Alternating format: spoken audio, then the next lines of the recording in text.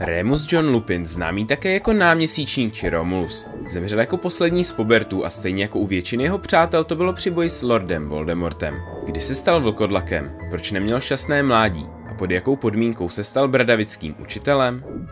Remus se narodil Lialovi Lupinovi a Hope Hovelové. Jeho otec pracoval na ministerstvu kouzel, ale matka byla mudlou. Seznámení Remusových rodičů proběhlo poměrně neobvykle. Hope se vydala na procházku do hustého lesa, kde narazila na bubáka, který na sebe vzal formu vysokého a zle vypadajícího muže. Její výkřik uslyšel Lial, který přiběhl, bubáka přeměnil a svou budoucí ženu odvedl domů.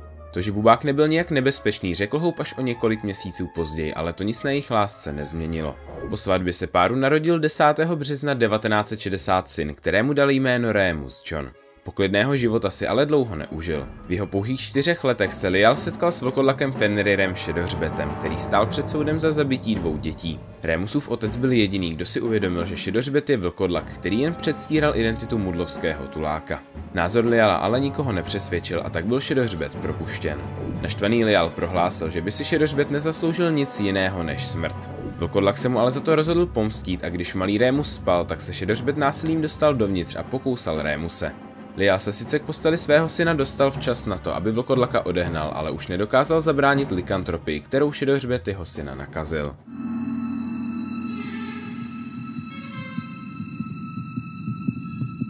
Rodiče vzali svého syna za lékouzelníky, ale tím jen potvrdili to, co už dávno věděli. Likantropii nejde vyléčit. I přesto ale začal Rémus v roce 1971 díky Albusi Brumbálovi navštěvovat Bradavice a byl zařazen do nebelvírské koleje. Aby bylo zajištěno bezpečí všech, tak byl Rémus jednou měsíčně přiveden tunelem vedoucím od nově vysazené vrby mlátičky do budovy na okraji Prasinek. Zde se tak mohl proměnit a nehrozilo, že by pokusal ostatní bradavické studenty nebo učitele. Stínou stránkou ale bylo, že izolovaný Rémus tak ubližoval sám sobě.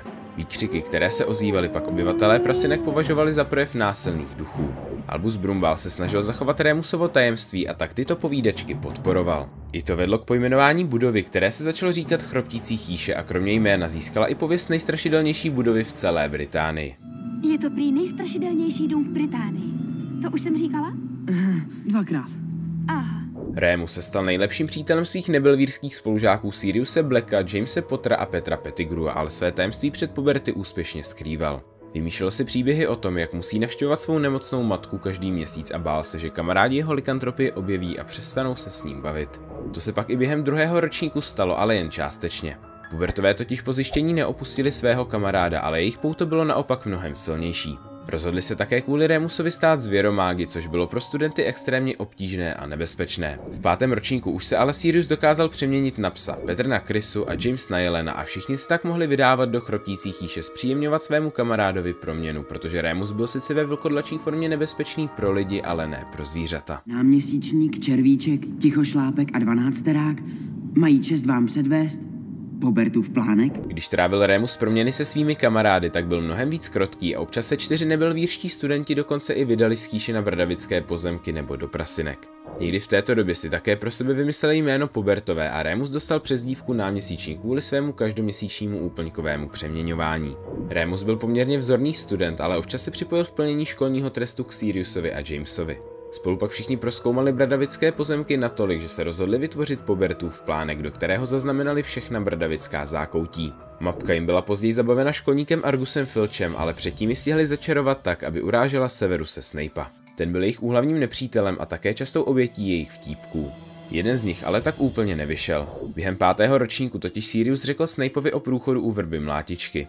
James sice stihl Severuse včas zachránit a nic se mu tak nestalo, ale už nezabránil tomu, aby Severus viděl na konci tunelu Rémuse, který se přeměňoval na vlkodlaka.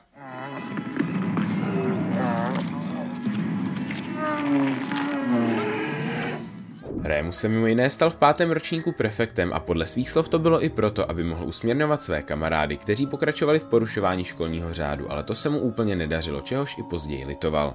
Krátce po absolvování v Radavice Rémus připojil k Fénixovu řádu spolu se Siriusem, Jamesem, Petrem a Lily Evansovou a postavili se proti Lordu Voldemortovi a jeho smrtijedům. V této době se Rémusovi také nedařilo kvůli likantropii najít práci, ale Sirius mu finančně pomáhal. Na druhou stranu mu ale na vrcholu války začal nedůvěřovat, protože měl podezření, že by mohl být špionem pro pána zla. Po vyřčení věžby, která určila osud Harryho, se tak Remus nestal součástí zabezpečování potrových, ale věděl, že použili Fideliovo zaklínadlo. Co už ale nikdo kromě Potrových, Siriuse a Petra nevěděl, byla změna strážce tajemství. Sirius se rozhodl jim učinit červíčka, protože sám byl očividným kandidátem na tuto pozici a myslel si, že informace donáší smrti dům právě Lupin. O jak velkou chybu se jednalo kouzelnický svět zjistil už za pár dní. Tvoji rodiče proti němu bojovali. Jenže když chtěl zabít, nikdo to nepřežil. Po událostech v Godrikově dole byl Fénixův řád rozpuštěn a jeho členové se vrátili zpět ke svým životům. Remus ale přišel o své dva nejlepší kamarády a třetí byl uvězněn v Azkabanu za vraždu 12 mudlů. Matka Lupinovi také zemřela a protože nechtěl kazit poklidný život svému otci, tak se rozhodl přežívat sám. Byl proto nucen brát i práce, které byly daleko pod jeho úrovní, protože musel zmizet vždy, když jeho kolegové začali uvažovat o tom, jestli by nemohl být vlkodlak. Trocha naděje se ale přece jen objevila, když se Remus doslechl o nově vymyšleném vlkodlačím lektvaru, který minimalizuje přeměnu a dělá ji mnohem méně bolestivou a vlkodlaka dělá téměř neškodným pro své okolí. Vše se ale vrátilo do starých kolejí, když se Lupin dozvěděl i o obtížnosti tvorby tohoto lektvaru a hlavně o seznamu surovin, které se rozhodně nedali považovat za dostupné pro běžného kouzelníka. Na počátku 90. let tak Lupin žil v chudobě v polorozpadlé chatě v Yorkshireu. Albus Brumbál ho ale v létě roku 1993 vystopoval a nabídl mu místo profesora obrany proti černé magii ve škole čar a kouzel v Bradavicích. Tam měl nahradit Zlatoslava Longharta, který byl po zásahu svým vlastním paměťovým kouzlem ještě více nepoužitelnějším pedagogem a kouzelníkem než obvykle. Kdo jste? Ron.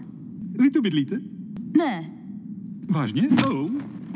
Lupin přijal Brumbálův návrh pouze pod podmínkou neomezené zásoby vlkodlačího lektvaru a 1. září se tak vydal spolu se studenty Bradavickým expresem do školy. V jeho kupé se k němu přidal Harry Potter, se kterým se poprvé setkal, když zahnal Moskomora, který na něj zaútočil. Remus však svého patrona nevyužil na 100%, protože by tím ukázal, že na sebe bere podobu vlka a nechtěl nikomu cokoliv o likantropii ani naznačit. Po odehnání askabanského strážného rozdal triu čokoládu a odešel z kupé. V Bradavicích pak podle slibu ředitele dostával vlkodlačí lektvar, který mu dělal jeho nepřítel z Bradavických let, Severus Snape. Když pak pomineme názor Draka Malfoje a dalších podobně smýšlejících z milozelských studentů, tak se Remus zradil mezi ty nejlepší a nejoblíbenější učitele obrany proti černé magii.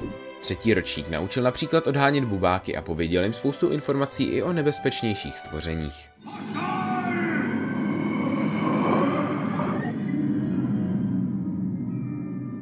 Remus poté dával Harrymu i soukromé lekce na odhánění moskomorů, kteří hlídali Bradavice kvůli útěku Siriuse Blacka z Azkabanu. S Harrym se pak ale setkal i u Severuse Snape'a, který si ho přivolal, aby mu pomohl rozpoznat kousek pergamenu, který měl Harry. Jako jeho tvůrce Remus samozřejmě okamžitě poznal, že se jedná o pubertův plánek, ale před Severusem předstíral, že jde jen o žertovní předmět od taškáře. Potom, co všichni odešli ze Snapeova kabinetu, ale Harry mu prozradil, že ví, o co se jedná a vyčetl mu, že plánek nevrátil, protože by se mohl dostat do rukou Siriuse Blacka. Remus totiž dobře věděl, že Sirius měl stejnou a nebo dokonce i lepší znalost bradavických tajných chodeb a kdyby se v nich Harry pohyboval, tak by pro něj byl snadným cílem. I proto tak radši Remus po zbytek roku pozoroval plánek, ale tomu nezabránilo, aby vytvořil neobvyklou závěrečnou zkoušku, ve které se museli studenti vypořádat s děsovcem, karkulinkami, bludníčkem a na závěr také s bubákem, kterého Harry hravě porazil. Mohlo se tak zdát, že školní rok končí a nic se už nemůže stát. Pokud chcete pokračování života Rémuse Lupina, napište do komentáře Lupin a nezapomeňte i na odběr, aby vám neuniklo a mezi tím se můžete podívat na video, ve kterém se dozvíte, jak vznikl Pobertův plánek, který Rémus spolu vytvořil.